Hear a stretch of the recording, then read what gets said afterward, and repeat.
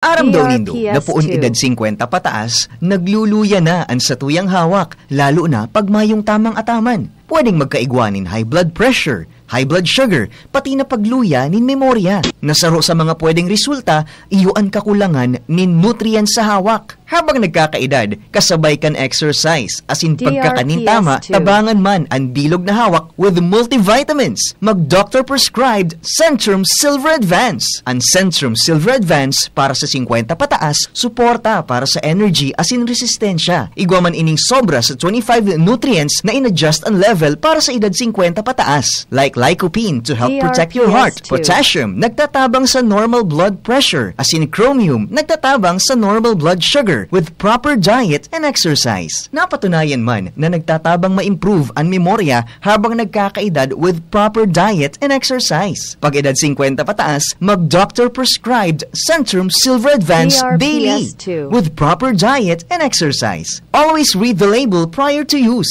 Multivitamins and minerals is the generic name of Centrum Silver Advance. If symptoms persist, consult your doctor.